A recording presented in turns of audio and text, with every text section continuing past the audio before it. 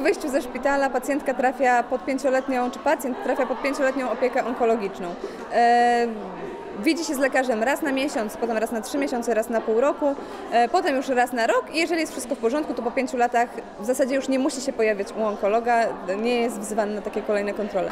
Systemowo tyle, natomiast brakuje tego wsparcia psychologicznego, głównie psychotraumatologicznego, ponieważ osoby, które zdrowieją, zachowują się tak samo jak żołnierze, którzy wracają z misji wojennych. Oni potrzebują wsparcia głównie właśnie tego psychologicznego, psychiatrycznego często, czy, czy psychotraumatologicznego, bo oni walczyli na co dzień o własne życie. Ja nigdy nie nazwałam tego, że wygrałam z rakiem, e, bo walkę tą toczy się cały czas, do końca życia.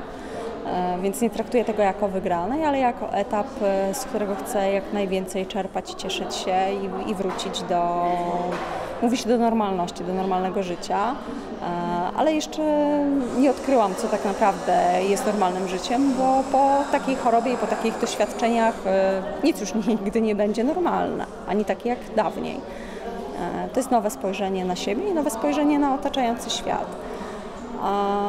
Po zakończeniu etapu leczenia, tego, który medycyna zapewnia, pozostaje taka pustka i tak naprawdę trudno jest się w tym wszystkim na nowo odnaleźć, bo człowiek poszukuje sensu życia i poszukuje rozwiązania na tak zwaną drugą nową szansę, którą się otrzymało i chciałoby się robić wszystko to, co jest wartościowe i dobre, a tu się okazuje, że proza życia też jest ważna i trzeba wstać, wyjść z psem, zrobić zakupy, wrócić do pracy.